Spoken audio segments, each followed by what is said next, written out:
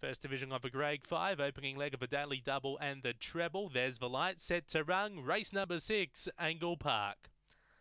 Set away. Speed off the inside from Ninja Winja, who finds the front by a length over Aston Scepter. Capitulate, pressing forward Stranger Tides. Aston Mitchell railing through. Energy Rush, sometime crazy velocity comet behind those. Up to the turn. Ninja Winja ran wide. Aston Mitchell now goes to the rail, goes to the front, and Aston Mitchell beats home Ninja Winja. Third Stranger Tides. Fourth was either Energy Rush, Velocity Comet. Then we go back to Sometime Crazy, Aston Scepter, and Capitulate. Time 1960.